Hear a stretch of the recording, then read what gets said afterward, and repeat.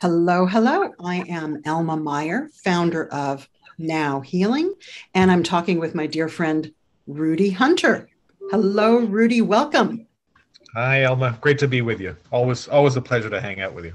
It's always just so beautiful to be in your presence. In this video, I'm going to be asking you about courage and strength, even when they seem impossible in the face of grief and loss and trauma and fear and freak out. So I'll just set the stage for a little bit and then I'm going to ask you a, a question and then uh, you're going to do, Rudy is going to do a healing process for us. I might do a little uh, opening healing process and then Rudy's going to take us through a wonderful uh, healing. And then at the end, we'll tell you where you can get lots more from both Rudy and myself. Perfect. So, to set the stage, Rudy, you recently went through one of the most difficult situations that humans can experience the death of your spouse, George, your husband of 28, 28 years. Is that right? That's right. And ever since he passed away, what, a couple months ago? Um, and before then, during his last few months, you have been doing superhuman, heroic work, not only to care for him, not only to somehow summon the energy to, you know, get yourself up and going every day, not only the huge life changing existential crisis and grief of it for yourself, let alone the day to day crap and bureaucracy and just all the the world crashing down on you, basically. But hmm. all the while, you have been doing even more amazing healing for others, for your clients, for the world. And especially, you know, after your initial grief at the end, you launched right into giving, giving, giving to the world. And you know, the most amazing thing you did was that you took this disaster, this trauma, this incredible, stressful, grief filled situation, and you transformed it into healing, not just for yourself, but for your audience and followers and clients. And I certainly got the benefit of, of a huge amount of it too, just by listening. And I'm sure that all of your folks watching will say the same. So you turned your grief into a blessing and a healing for the world without stuffing it down, without spiritual right. bypassing, without resorting to just think positive, just get through it, you know, without trying to numb the pain. Well, maybe you did try to numb the pain a little. Um, so you fully lived the pain and the tears and the neurology of grieving. So my main question is, how did you do that? Because as a healer, and I'm sure uh, the other healers watching this are going, when this happens to me and crap is happening all around us, when you feel you know like the rug has been pulled out from under you how do you have the strength to just show up in the world and go on? So many of us feel like we're just going to shut down. So rudy tell us sure. how did you do it? In in three three easy steps. Um yeah. So I'm gonna I'm gonna take us all back because I'm I'm more surprised than anybody else. Uh, years ago, uh, actually, when I first was listening to you, ironically, um, I was um, helping my best friend. She was she was in the process of dying, and I helped her pass. I did not kill her. That's my that's my own that's my only joke. Um, and I was listening to your work at that point in time because I come from my prag- my private practice with a nefarious past. The past for me was always opening and closing my practice when I got really really angry because I had surrendered all my boundaries. I got taken advantage of again and again and again, and I I basically flipped the world off and closed my practice, which is uh, how you do that if you want to cut off your nose to spite your face, and went underground and licked my wounds, and then eventually I would make my way out and rebuild my practice from zero because um, I'm nothing nothing if not stubborn. And I did that again and again and again. So that impulse in me when George passed was pretty strong. it's like I don't want to deal with anything. I I'm going to shut everything down and go lick my wounds like I always have because it's very familiar territory. But I remembered back to when my my friend was dying. She her death catalyzed for me a series of vows I made about my practice. As soon as she passed, I had a what I call a come to Jesus meeting with myself and decided that I was never, never, ever going to uh, close my practice down again. I wasn't going to perpetuate that terrible cycle. Aside from being exhausting, it was pointless. Um, and that I would, on her death, make a series of vows about how I was going to perpetuate and run my business so that I could keep doing healing work and help the people and the animals that I was clearly here to help. So I had the impulse when George passed to shut everything down, and I remembered, oh, I said I wasn't going to do that. So crap, now I have to find a way to navigate this. And I got um, amidst the the very sweet torrent of lovely, not terribly helpful advice. I got some gems from other people, uh, most of whom had lost other folks, so it was from real experience uh, that helped me make a decision. And the, the decision I, I, fundamentally came to was that I was going to be uh, even more fully surrendered than I already was. I felt I was at the at the end of the surrender line, ah, um, because there was three months in hospital and, and rehab um, in the in the escapade with George, and we were doing nothing but surrendering. We were surrendering our time, all our choices uh, in order to get him back and home and for me to have my husband back and for us to rebuild over the long haul his functions so that we could have our life back. That that was the plan. And uh, even that had to be surrendered. So I thought, okay, I'm done with surrender now. That that's good.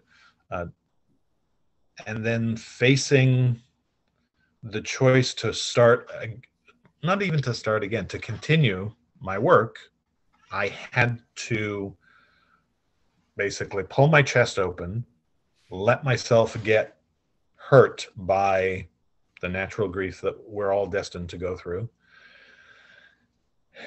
and to deal with every single piece of feeling that was uncomfortable, teary, dreadful, and difficult.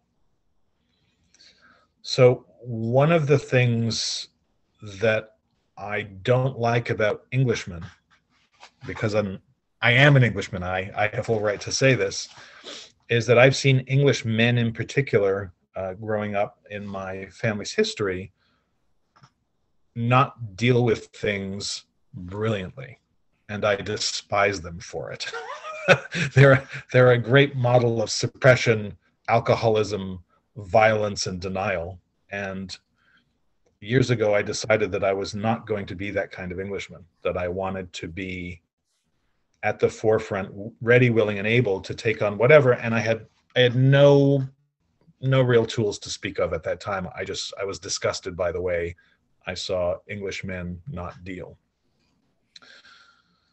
So so far I knew I had to stay. I couldn't check out. Couldn't really distract myself. I mean, yeah, there's been some cake, but um, and that I had to do the thing that I teach people to do all the time, which is stay and not run away from the feelings and use tools to deal with the onslaught of feelings and in grief in particular and loss they come every 12 seconds or so. They are relentless. And lots of things trigger you and there's lots of crying and screaming and you know all the rest of it. So i'd set myself up with a series of vows to not avoid this and to get ready to deal with staying here and being clear enough not only to help myself but to help all the folks that i'm here to help because one of my vows way back when was isn't it obvious by now that i'm here to do this work and yeah so in a very real sense, I didn't have a I didn't have much of a choice because I'd boxed myself in years ago. So it was either you know lie on the couch and eat ice cream, um, which is good for ten minutes, but but beyond that, not not so much. Uh, or find a way to get up, get to work, and get focused, and use what this is to the best of my ability. That's that's the headspace of it, and the rest was I have a lot of tools I've produced that are made for trauma, for PTSD, for really difficult situations that we don't want to feel, we don't want to deal with. And I have a library of those. That's that's my work. So those are the very things I leaned into. And I don't know why it always surprises a lot of folks, but I actually use the tools I produce for myself. I, I, I love get to get asked that question because it makes me think like would I be using just like secret stuff and like making stuff for other people? No, it's that's what I use. So I lean into my own work, which was which has been the only real my own work and great friends have been the only ports in a storm for me because my life got torn apart and my husband's gone. So there isn't a lot left um, to lean into. So that's the doing of it. Um, and when you're in a situation, when I'm in a situation that is really packed, I pay extra attention to what's going on. So a lot of the tools I produced and the the recordings and the the help come from nose to the immediate environment that I'm stuck in, and I pay attention to how I and other widows and widowers are because I started interviewing widows and widow, widowers the next day. I wanted to know. I didn't have any data for this. I didn't plan for this. So I wanted to know how other people navigated it and where their head was at and tricks that they had and things they did. And then I started paying extra close attention to not only the waves of grief and loss and how they function, but what else energetically is going on in the system that keeps pouring inf- in- inflammation and fire on this thing because there are some folks who don't ever stop grieving and it's not something i recommend. I got a great piece of advice from someone very early on uh, another, another gay man who had lost um, two husbands. It's like i was stunned when i talked to him. I thought i was just going to talk to him about losing his current husband. He's been through it twice and he, he has a spectacular piece of advice. He says of course grieve find out how you do it. I got that great piece of advice from lots of folks. Do it your own way. Which you know when you're stuck in it it's like oh great something else i have to figure out. Uh, you don't actually have to figure it out. It's it's done for you. That is the way you grieve. But his advice was grieve but don't live there. And that is a sage piece of advice.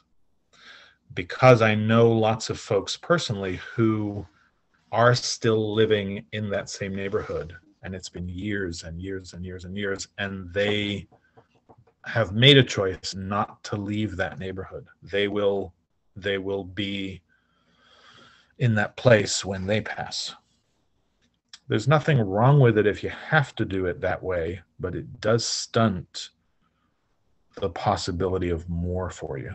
And I have stuff I want to do. So um, it, was, it was a great piece of advice. I don't know if that answers the question or that, gets. Yeah, that answers a huge chunk of the question. Part B of the question would be um, when I said, "How did you do it?" That that was a, a tremendous, beautiful overview of how do you how you did it. Now I want to ask you about the moment to moment. How did you get through, you know, when it shows up every 12 seconds and yeah. when it's a particularly gnarly wave of grief and you're feeling like I can't I can't handle it. I can't do it. You know, when when you're really shut down, do yeah. you have any advice for folks on that. And this applies not just to if you lost a loved one it applies to you know reading the newspaper about the latest shooting or you know thinking about your bunny rabbit from 10 years ago or it, it could be just the state of the world. So when you're in that state of i can't handle this I, right. I know all of your tools have stuff for that but any any specifics on that one? Absolutely I got I got a few. Um, every morning for donkey's years now, um, I get up, I make a big cup of coffee, I go sit outside in all kinds of weather, sometimes with blankets and 12 hats on because it's freezing here in the Northeast. Um, and I go chant for a few minutes because it's very helpful. And then I do energy work, uh, and I specifically go after what's up in consciousness for me that day. I got a great piece of advice years ago, which was go after your problems before they go after you. And that piece of advice has stood me in great stead. And my mornings now, no matter what's going on, even with all of this heaviness, it still feels like a game show for me.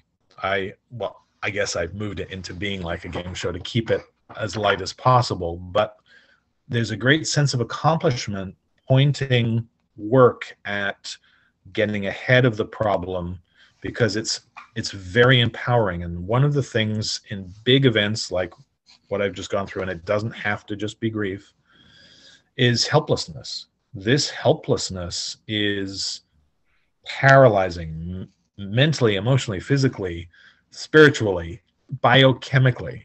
Um, so that helpless territory is a dangerous place to not only get stuck in, but to spend much time in. So you want to shorten your time in helplessness as much as you can. Sometimes stepping away from whatever's going on in your current helplessness and doing some task does not have to be spiritually evolved, like organizing your cutlery drawer or banding together rubber bands or sorting out your mudroom or taking the garbage out and going for a walk, whatever it is, some other task neurologically is just as effective as processing out where you are currently stuck and it will unstick the other place. That we know that as people, but when we are helpless and we're in a bundle on the floor crying, we never think, hmm, that cutlery drawer could be my salvation because it, it really could be. It's a start. The yeah. next the next thing to know, it's an enormous secret and it's very, very hard to remember. And it's only from doing emotional work with myself and clients for uh, decades, for, for a very long time, um, that I can tell you this with full authority. And as soon as I tell you, you will forget it. Not not you. Elma already knows, but we we as people forget it because it cannot possibly we think it can't possibly help us, but it's one of the ways out of this. That is everything that's going on in the story. I lost my husband. My house burned down my house didn't burn down. I'm just giving examples. My dog died. I lost my job. I can't find a job. The world is a horrible place and I'm terrified 24 7, whatever it is. Every single part of that story is made up of beliefs and ideas and circumstances. Here's the key that are only feelings, period. This is the last thing we'll remember when we're upset. So I encourage folks to start noticing this when you're not as upset as usual or when you're having a good day. Because it doesn't matter if the story or the spin is negative or positive, everything going through your head about it is only a story, it's only a feeling. And the great news is those feelings can be changed and they can be changed pretty quickly and with great aplomb. I will tell you if you want a really fast way to just bust a feeling, I I mean I've got I have too many YouTube videos up, but there's a YouTube video called Mobius. Um, what is it? Mobius strip tease. That's a that's a one of my shortest videos where I don't yak on endlessly. You take you take your feeling to that, it will undo it for you. It will start to pull the threads out of it.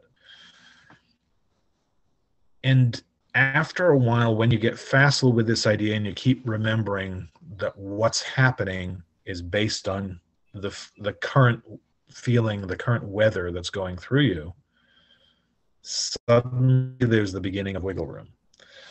Does it change the external reality? Nope.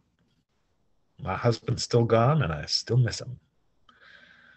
But that every 12 second grief or that pang of nausea or whatever it is that rolls through you is the next feeling about whatever's going on. So it's a very anti Pollyanna way to go after stuff because you meet the feeling head on, you deal, and it actually lets go of you. You go through this, you go through the process, but it's the thing that actually frees you when the when the feeling starts to dissipate. That's the biggest tool. And well, that's the biggest tool for me anyway on bad days, the the feelings, whatever they are, they're coming too fast and too furious, and everything looks gray, and it's and it's a crappy day. On moderate and good days, they come at a slightly lesser rate, and I'm aware that I need to deal with them as they come, or I end up being the kind of Englishman I hate, who is uh, drinking his way into oblivion and denying he has a heart or feelings or an emotional life. Sorry, English dudes. I'm sure there's four or five of you out there that are lovely, but I'm going to be the most lovely. That's that's really my my challenge to myself. You are Hugh and, Grant. You are Hugh Grant. Thank you. I, I do what I can. Right. The other the other part of this, because this is really messy work, there's there are most of us most of us are terrified to not only just to fall apart because it's painful but the the layer of shellac over that that makes it excruciating is to be seen to fall apart by other people most of us are terrified i however am not wow because what other real choice is there? I'll tell you what the other choices are. And hopefully, this will veer you away from making that choice to be seen to be holding it all together so valiantly.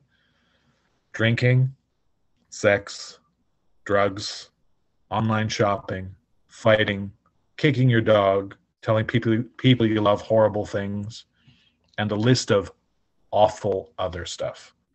Those are the real other choices. And those kick in automatically as soon as we start to suppress and as, as soon as we start to put this idea that it's important that I'm seen to be all together and handling it beautifully. Um, and my friends and and lots of my clients too know that there's been long stretches of time. I, I did a series of Shows you how willing how willing I am to show to be seen showing up naked. Uh, when George was in ICU, I I had some clients who I I had rearranged so many times, and my schedule was I was basically spending eight hours a day in the hospital with George and driving three hours to get there, and I had no time. And I I love my clients. I could not bump these folks, so I found a park bench outside of ICU and uh, brought my computer and we did session work. And you know i did my my opening disclaimers like this is not the normal environment and i might have to go if i get like a sudden text. But and i told them i'm outside icu and my hubby's having a hard time. And i i nearly brought myself to tears confessing that to clients and those clients were magnificent um, and that's been my experience. Most of the people that I've been fragile and vulnerable with and a big hot mess with have been just graceful, kind, magnificent. Um, nobody's been a dick, which uh, you know the the law of averages said there's got to be somebody, but you know, so far so good. Everybody's been pretty uh, amazing. Yeah, and and if that was you letting it all hang out, I mean, yeah. to me, it looked like you were the person in the world who handled it the best. Not because you were trying to keep it together, but because you were being, you were flowing with the waves of of grief and then coming out of it and going back in. And it just, it was you know you should write the manual on how to deal with this and you have with a lot of that's your, what we're doing yeah and, and, and, and, for our viewers at home elma is one of the people i am i was frequently a hot mess in front of who uh, was an, a magnificent support through all of this and yeah that that is how grief and trauma and other really powerful feelings they they feel very much like a tidal wave every time they come. There's a big whoosh and and I can't actually imagine now trying to hold that off or hold that back because I know now from very very painful experience that when that ebbs it's in the ebb when it lets go there's a there's a sudden relief from the force of the intensity of it and remember it's just a feeling. So it can be a feeling that'll take you down to your knees or knock you out or make you want to nap for three hours, but it's still does have a beginning, a middle, and an end.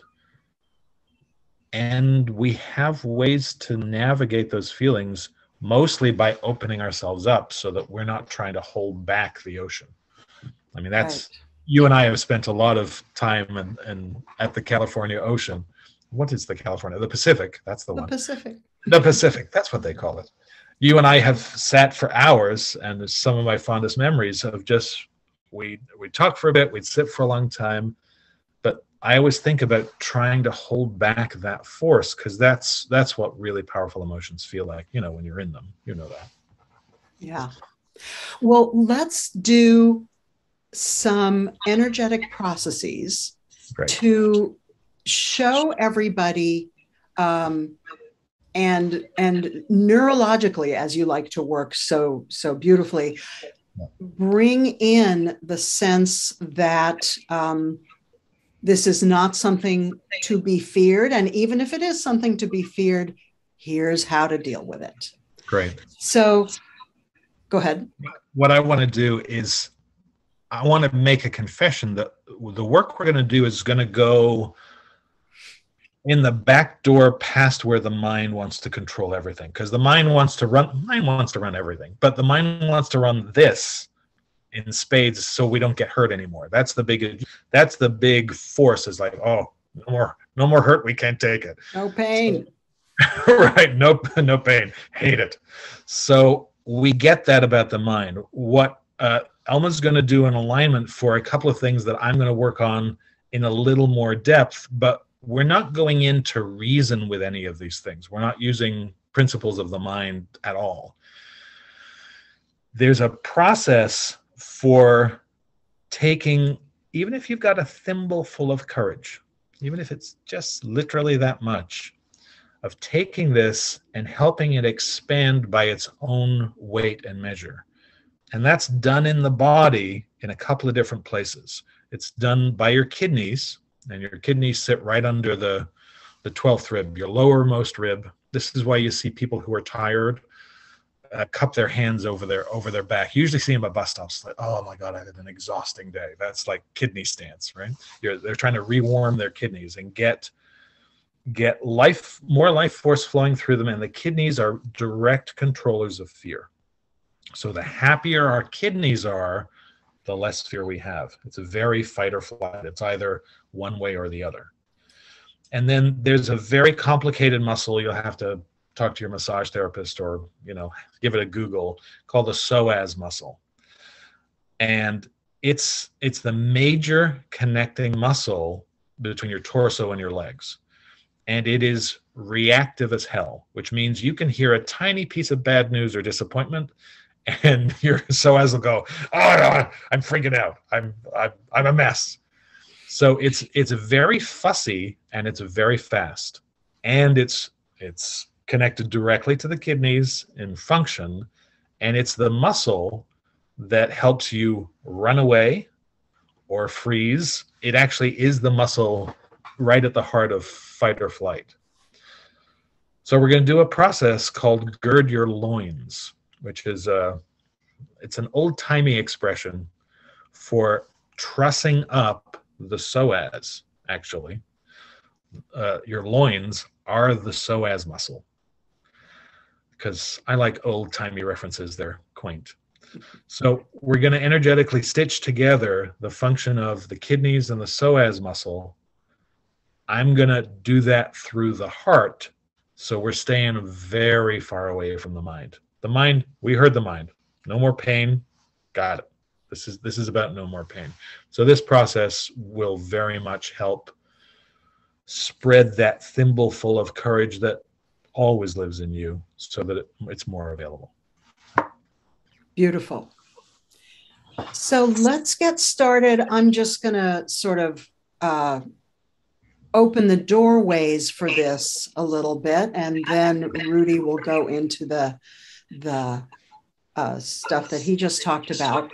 So let's all get ready to shift and change and align right now a great way to do that is to just breathe into your center. Feel the breath going from your nose or mouth down into your lungs and your heart area. And you can feel it going even all the way down to your gut and your pelvic floor, even though technically it isn't doing that. But you can feel the energy of your breath energizing your center and you can close your eyes if you want, or you don't have to close your eyes. Um, just maintain a, a soft focus.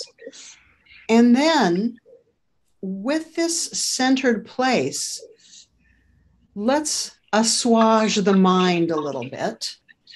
Uh, and let's allow the mind to just let go of the duality of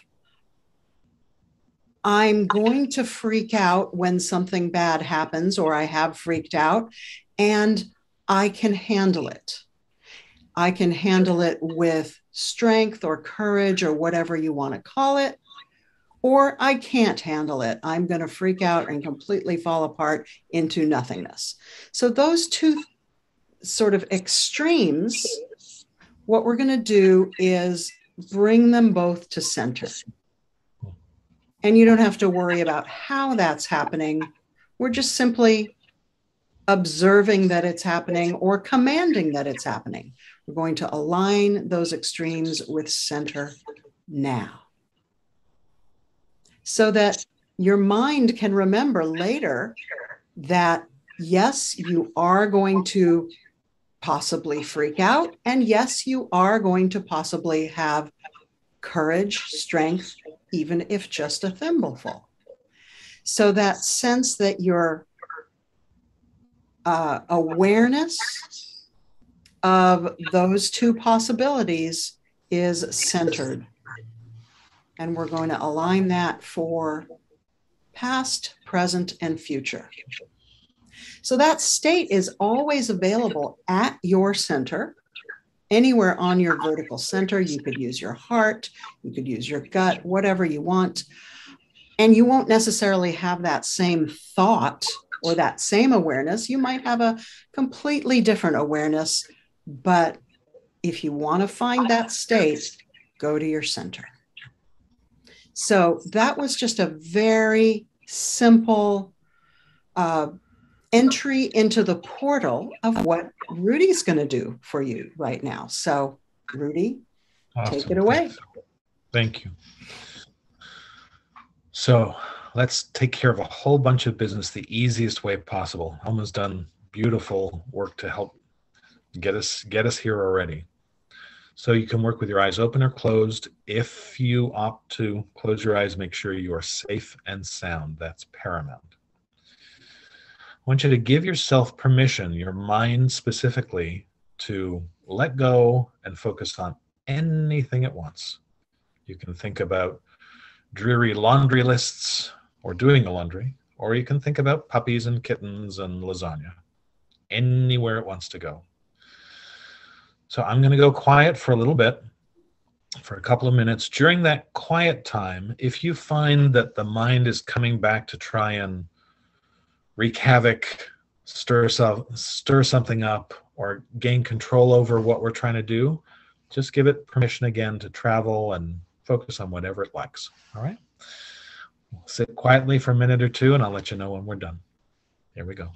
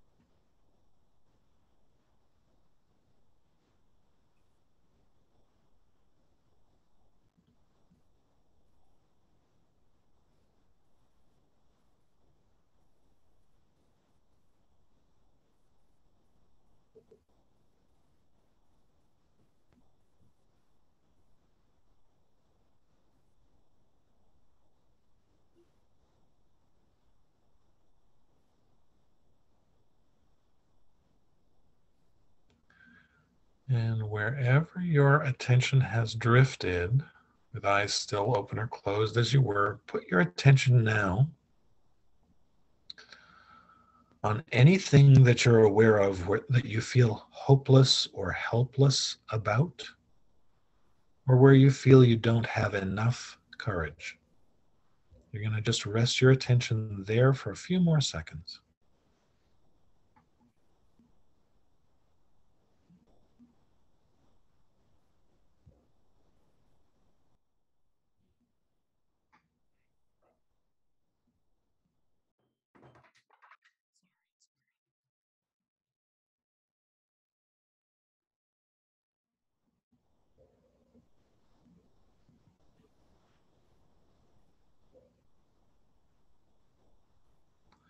One more place for your attention. There's a really strong impulse to want to know what to do or try to figure it out. Put your attention on that idea, wanting to know what to do or trying to figure it out. Just rest your mind there.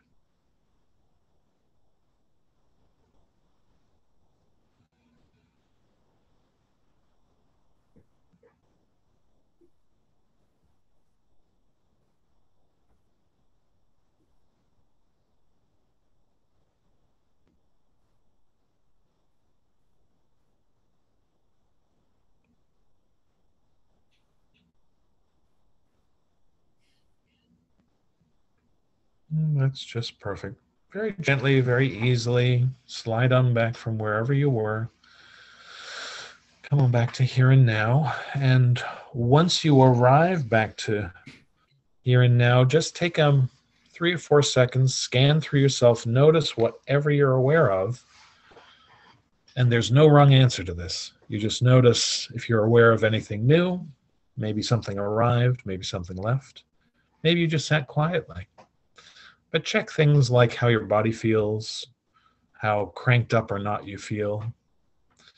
You'll find every single time you do this, if you pay attention to it, there's a very strong, pronounced shift in your nervous system to more rest, to more ease, even though you got stuff going on.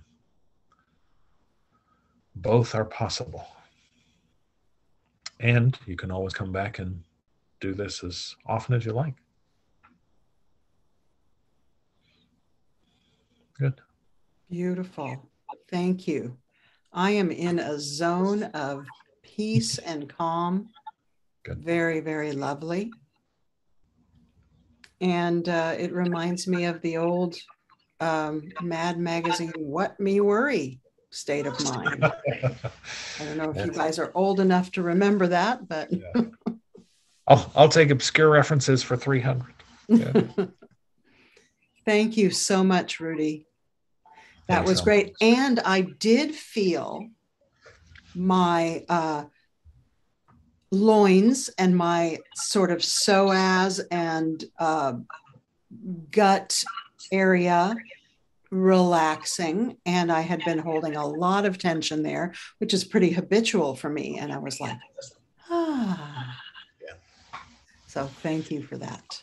And my experience of course might be completely different from what you all experienced so and that's yeah, one, of, one of the nice things about doing this work is that if you come back and redo it as long as as long as we sort of remember beginner mind which is you do your best not to have any expectations. I mean we all know the last time you felt x y z we we'll have that oh maybe i'll feel that again but if you just show up and do the work your system everybody's system when they redo this will take what's pressing and important and start to change that. So it can be a new experience every time.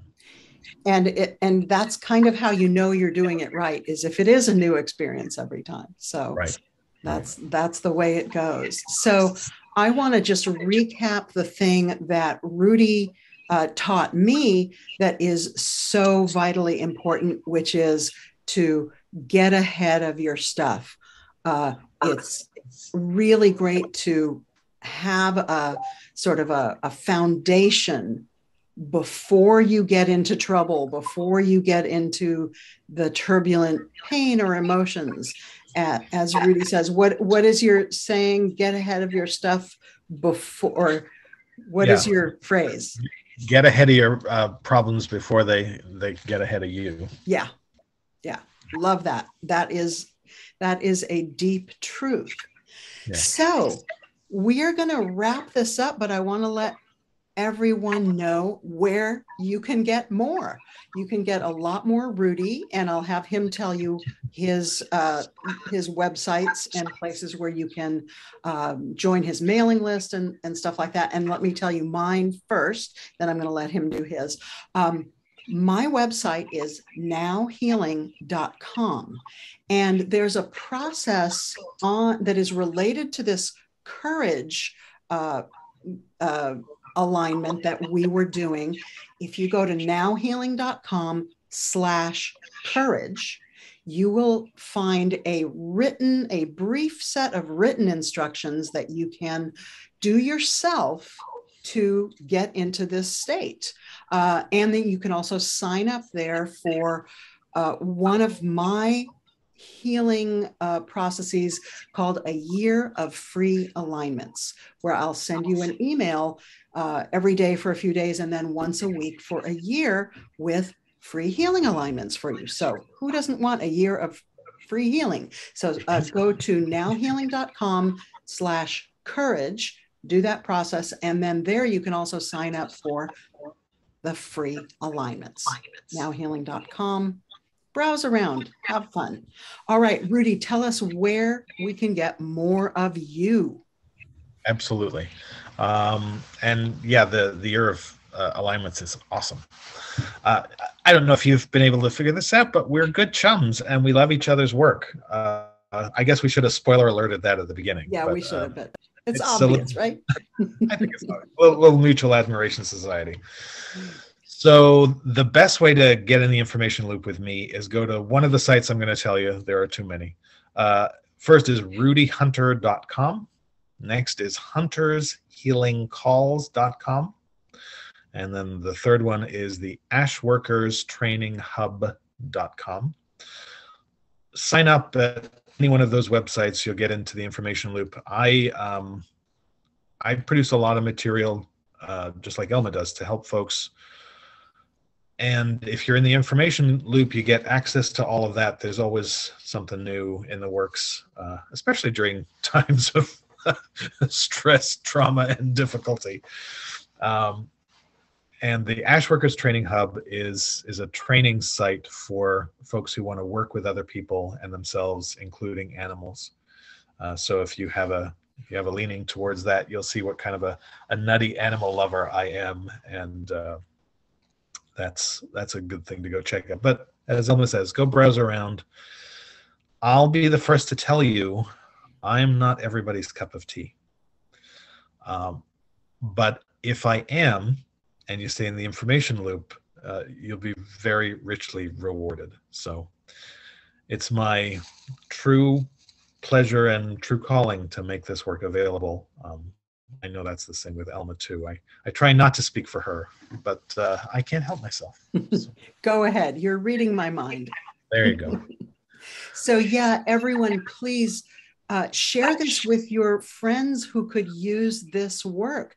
If you happen to know anybody, although it's probably very unlikely that you know anyone that needs help with grief, trauma, stress, you probably don't have people like that in your life, right? But if you do, please share this with them and please sign up for Rudy's uh, newsletters and because he'll give you tons of stuff. Sign up for my year of free alignments and um, Rudy, you got any closing words here? Yeah. Uh, a great piece of advice, not just for grief, not just for loss, not just for PTSD. Please stop beating the crap out of yourself and go gentle, gentle, gentle. Thank That's you. That's my sage advice. That's what I was going to say too. yeah, yeah because because uh, you know it's just so easy to beat the crap out of yourself, especially if you should know better. Yes. Uh, you know. Yeah.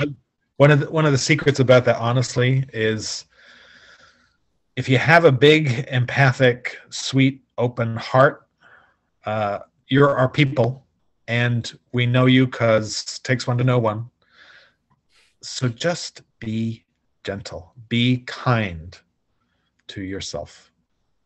That's be it. Kind and gentle to yourself. Yes. And yeah.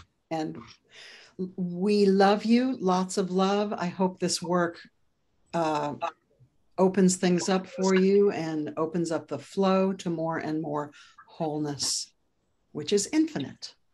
All right. Thanks everyone for being here. Thank you, Rudy. What Thanks. a beautiful pleasure. Thank you for your heroic work. Thank you. Love you to bits. Bye, everyone. Bye.